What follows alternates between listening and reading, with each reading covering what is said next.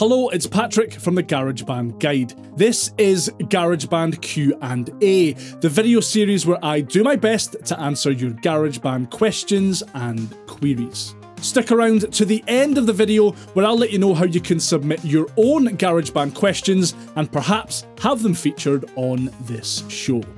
Okay, on to the first question. Is it now safe to install Mac OS Catalina? I've had this question from tons of people over the last few months. And with macOS Big Sur just around the corner, it might seem a little strange to be still having this conversation now. But it's easy to forget just how much trouble Apple's current version of macOS caused at launch.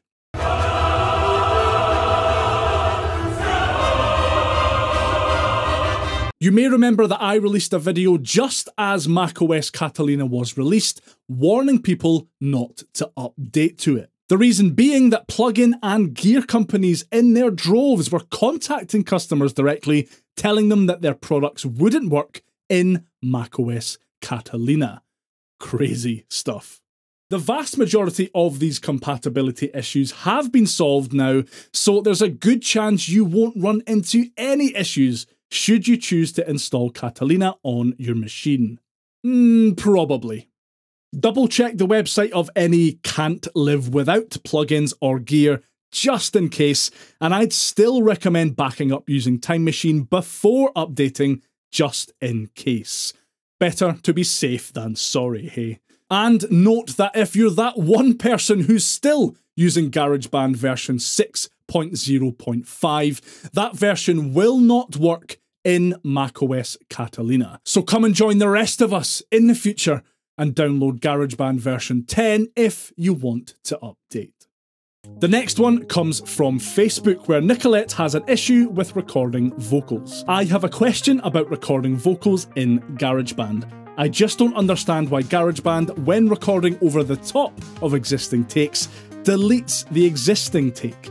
How can I record over the top of a take and then strip back the new take without the old one being deleted? Thanks. And thank you for that, Nicolette. So basically, you need to set up multiple take recording before hitting the record button to capture multiple takes. In GarageBand for Mac, you need to activate the yellow cycle region by clicking on it. It's just above the ruler there. It's sized to 4 bars by default, but you can resize it as needed and move it to the required position in your project by dragging and dropping it. Hit record, and each time the playhead reaches the end of your cycle region, it will jump back to the start and record another take.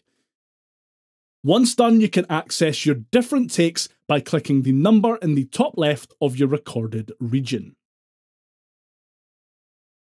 In GarageBand for iOS, there isn't a cycle region. Instead, you'll need to open track settings, tap again on track settings, then recording, and tap here to turn on multi-take recording. Now, every time you record over the same region, a new take will be captured.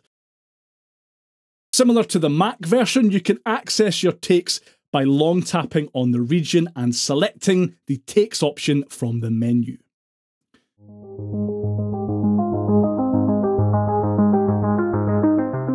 Thanks for that one, Nicolette. Finally, Tony got in touch via email to ask I forgot to ask if I should upgrade to the latest version of GarageBand as the reviews all seem very bad.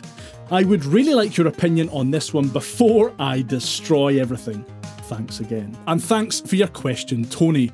I'm not 100% sure which version of GarageBand you're coming from, but if you're referring to the update that was released last month, then absolutely 100% yes, go for it. I mean, there weren't any new features, sounds, or instruments added to, or anything exciting like that. Instead, we got over one gigabyte of bug fixes.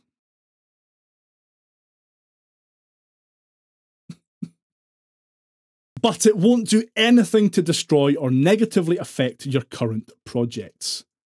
If you're talking about upgrading from GarageBand version 6.0.5, that's the version that came with the 2011 release of Apple's iLife suite of programs, then yes, definitely hop over to the Mac App Store and download the latest version.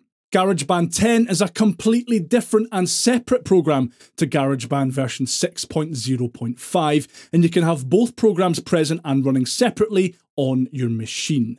Unless you've decided to update to macOS Catalina, of course.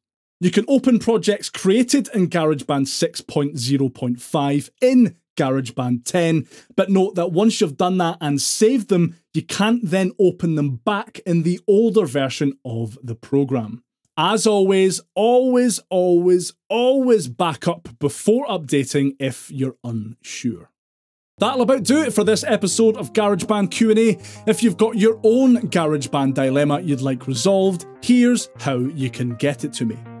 Leave a comment under this video or you can fire me a message over on Facebook, Twitter or by email. You'll find links to all of those down below. I have been Patrick from the GarageBandGuide.com. Thanks for watching, and I'll see you next time. Bye for now.